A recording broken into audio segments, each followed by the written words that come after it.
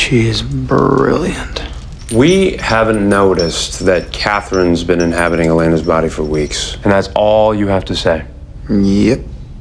And you realize that it was Katherine who broke up with you, it wasn't uh, Elena. Mm-hmm. Right.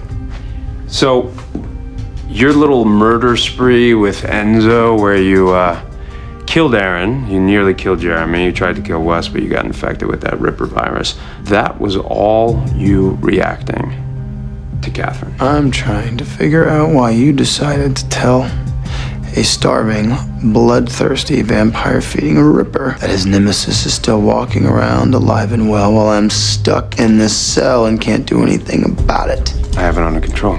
I'd love to hear this. Hang on here. Katherine's still alive?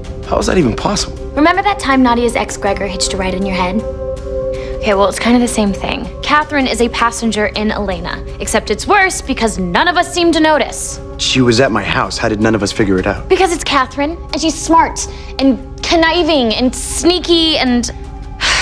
We're the worst friends ever. This makes no sense. She saved my life. She gave me CPR when Enzo tried to kill me. Katherine would never do that. That's what made her so believable. She played Elena to a T. If she let you die, her cover was blown. I was sleeping three feet away from her. She picked out my bitterball dress, and I let her use my toothpaste. Yeah, well, did she lure you into a hotel room to make out with you? She's the reason I found out about you and Klaus. Of course. Oh my god. So, how do we kill the bitch? Well, passengers can be expelled from the host. Saw it happen with Matt. Gregor died and Matt lived. All we have to do is stab her with the traveler knife. I still have the knife that Nadia gave me. Perfect. Go get it. Wait, hold on, guys. This is Katherine that we're talking about. She's gonna see a sneak attack coming from a mile away.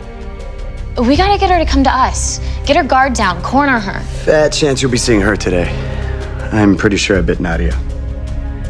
What do you mean you bit her? I mean, she was attacking Caroline and I might have nipped her a little. And you're just mentioning this now. Hey guys, focus. Tyler's right. Katherine is not going to leave Nadia's side unless not leaving compromises her identity. Which means We gotta invite her to something that Elena can't say no to.